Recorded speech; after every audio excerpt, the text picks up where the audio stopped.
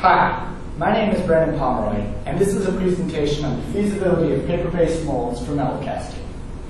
Now, in this presentation, we're going to look at a few things. We're going to look at what a paper-based mold actually is, why somebody would use it, how is a paper-based mold made, and how well do these types of molds actually work. Now, a paper-based mold is one in which the initial mold cavity is constructed out of cardstock or construction paper-like material. Plaster is then cast into this paper mold cavity, and the plaster hardens and becomes the actual mold for the uh, molten metal. Why would somebody use a paper-based mold over a traditional mold method such as sand casting or ceramic shell? Well, traditional mold methods can be expensive, time-consuming, uh, and difficult to make. For example, in sand casting, you need to have a pattern um, that you're going to make a mold out of. These patterns are often made out of wood, which require the use of a machine shop to make, or they could be 3D printed, which needs a 3D printer, obviously. Um, some people might not have access to a 3D printer or a machine shop or a wood shop, and uh, paper-based molds can be cheaper, faster, and are available to everybody that uh, has access to a normal printer and a ream of cardstock. Now, how is a paper-based mold actually made? Well, it all starts with a 3D model of the pattern that you want to cast on your computer. Um, a mold is created from that pattern using the Mold Wizard program uh, in SolidWorks, for example, and that model of the mold is saved as an STL. The STL is loaded into a program called Pepakura Designer. Pepakura Designer takes your 3D model and unfolds it along the vertices to give you 2D a 2D representation of your model that could be printed, cut out, folded, and glued together to make a perfect copy of the 3D model you had on the screen not moments ago. Now, once the model is printed onto cardstock, the parts are cut out and folded, glued together, and totally assembled. Now, obviously, this is a very small box. Um, it was my test piece, and it took mere hours to put uh, four of them together. If you had a larger, more complex piece, it could take up to a couple weeks, um, or it could be as little as 20 minutes. Um, so once you have your uh, paper mold, you pour plaster into the back of it um, to give it the rigidity and strength it needs to withstand the molten metal. Once dry, the molds are then baked to eliminate all moisture. Metal is then poured into the hot molds and your part is made. So how well does paper-based molding actually work?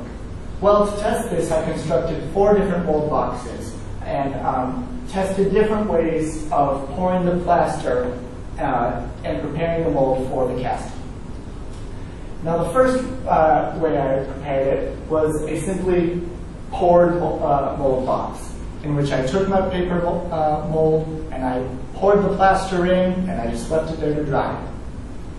Um, my second method was the poured and peeled box, in which, again, I just poured the plaster straight into the paper, left it to dry, but then once it was dry, I peeled off the paper on the mold, leaving just the plaster surface.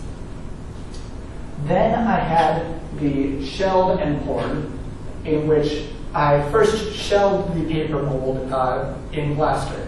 To do this, I poured the plaster in, um, and then immediately dumped it all back out. This left a very thin wall of plaster that eventually dried and acted as a shield against the rest of the plaster when I poured in my, uh, the, the full amount for the mold. Lastly, we have the shelled, poured, and peeled mold, in which I shelled the mold as before, poured the rest of the plaster in, and then peeled away the paper, leaving only the plaster surface. Now, my results from this experiment uh, the results of the poured mold box was um, a, an overall quality of pour. There was mold blowout on the corners and the walls, and uh, there were actually indentations in the final casting. It's hard to see in the uh, picture, but in, um, on the actual part, they're quite dramatic, and those indentations came from the tabs that were used to glue the pieces of paper together. together. Again, the overall quality of this was poor, and I would not recommend it.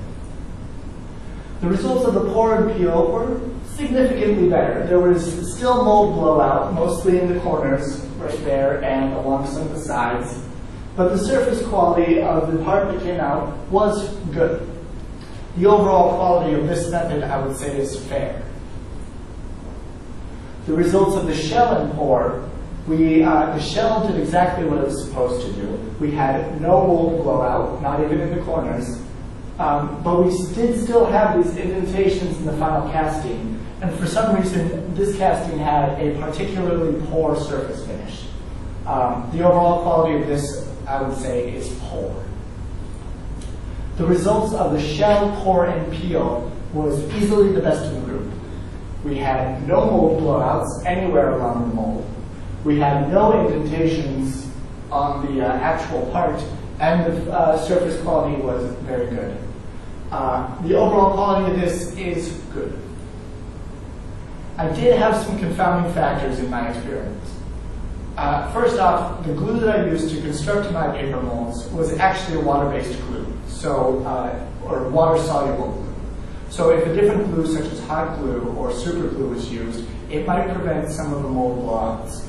Although the um, some of the blowouts happened because the uh, paper was super saturated with plaster and seeped through.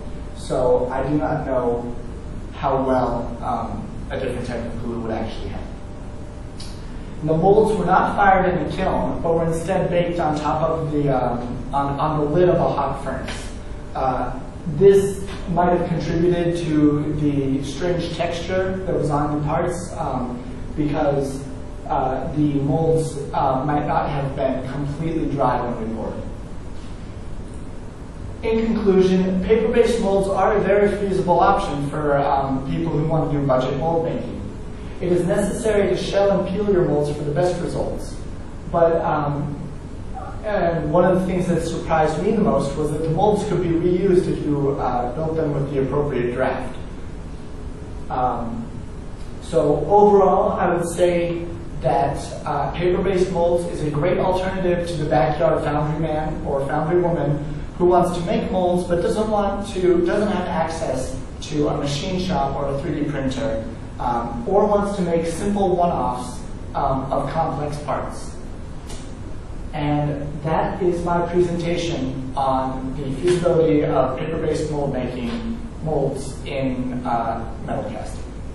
Thank you.